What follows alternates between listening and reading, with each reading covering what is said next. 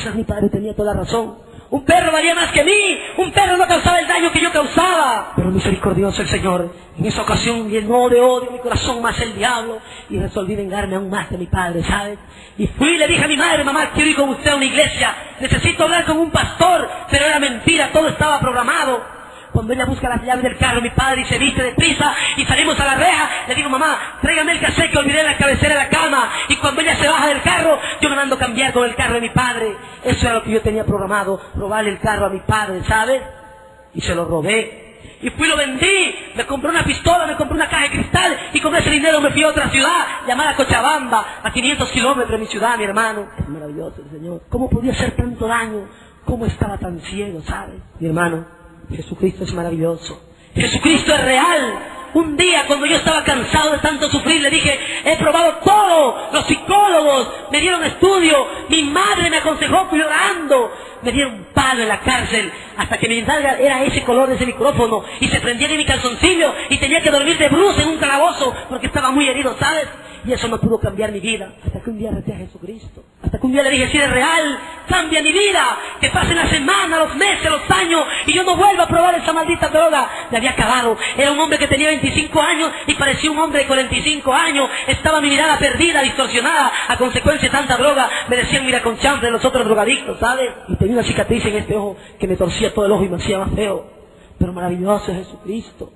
Te quiero comentar que en esa ocasión, cuando yo le robé el carro a mi padre, en el baño de un bar, como dice una de las alabanzas, por favor, se la puede buscar la pista, en el baño de un bar, se estaba acabando la droga. Y yo mandé a otro drogadicto que yo no conocía, que era otro drogadicto igual que yo. Él se había escapado de, un reformatorio y se llevó con él una Biblia, hermano. Pero él no se llevó una Biblia para leerla. Él se llevó la Biblia porque con una navaja él recortaba los trozos de papel en forma cuadrada y nos proveía material a todos los drogos para que hiciéramos los joy, los jales, las marihuanas, ¿sabes? Y en esa ocasión yo lo mandé a Ronald, le dije, Ronald, toma 200 dólares, anda al traba a traer droga, porque se estaba acabando la droga. Y sucedió algo hermoso. Este drogo salió y se embarcó en el taxi que Dios había puesto en esa puerta. Y el chofer de ese taxi era un diácono una iglesia. Y cuando este drogo subió allá al taxi, ese chofer le comentó que él un día había sido drogadicto, pero que un día probó una dosis superior que era Jesucristo. Y le dijo que Jesucristo podía cambiar su vida. Y le dio de probar esa dosis superior, ¿sabes? El hecho fue que Ronald nunca volvió ni con la droga, ni con la plata, ni con el cambio, ni con la noticia. A mi desgracia llegó la federal a las 3 de la mañana, me tiraron una tunda, me fracturaron la nariz y me mandaron a la cárcel, mi hermano. Allá en la cárcel, después de tres, cuatro meses, me enteré que Ronald andaba testificando a Jesucristo y llevaba con él como testimonio una Biblia hueca, que él se había fumado con todos los drogadictos. ¿Sabes? Es maravilloso el Señor, recordando aquella situación tan triste. De aquí del alma, del corazón de un drogadicto, nació esta alabanza que te la voy a enseñar para honra y gloria de Jesucristo. Glorifícate, Señor. Eres maravilloso, Señor. Glorifícate.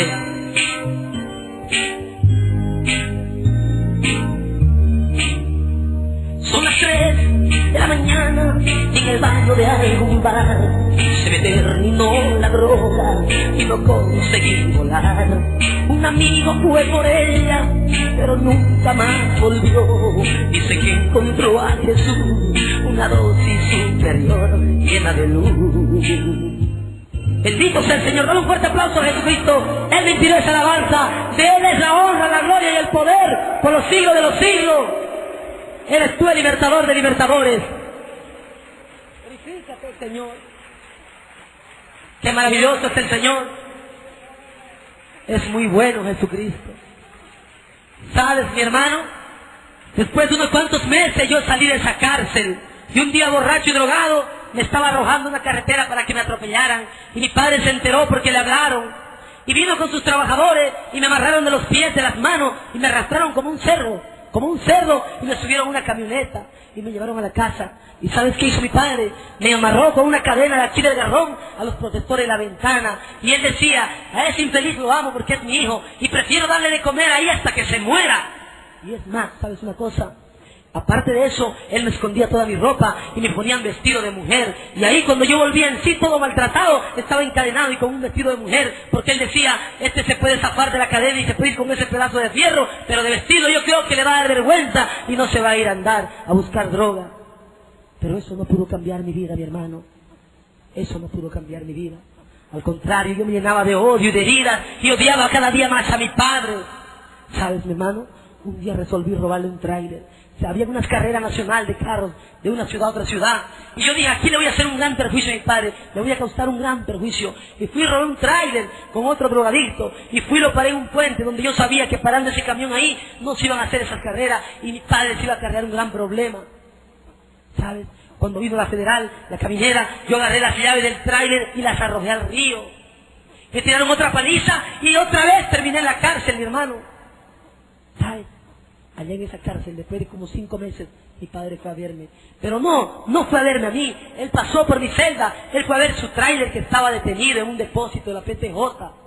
Y cuando yo le grité, papá, papá, él pasó de largo. Él estaba tan lleno de odio, lleno de herida, de resentimiento contra mí, que a él no le importaba si yo vivía o si yo moría.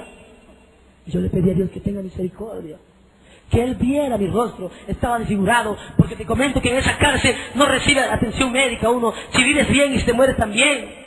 Y sabes que durante 12 noches me mandaron a dormir a un calabozo donde era tan reducido el calabozo y éramos 64 presos y teníamos que pasar las noches enteras así parados porque no daba ni para sentarse. Y yo lloraba que llegue el día para salir a carpir porque cuando amanecía nos mandaban a carpir, a barrer, a lavar el patio.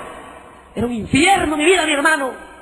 Era lo peor. Ahí aprendí qué hermoso es ser libre. Cuando yo miraba atrás de esa reja y vi a los perros por allá, de verdad te digo que prefería ser un perro. Y decía, cuando yo salga de aquí, voy a confesar qué hermoso que es ser libre. La libertad es algo que Jesucristo te ha regalado y no tiene precio.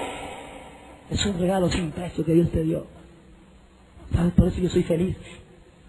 Y bendito sea el Señor. Estoy chalinga, como decimos allá, estoy novito. Y tengo muchas ganas de seguir testificando.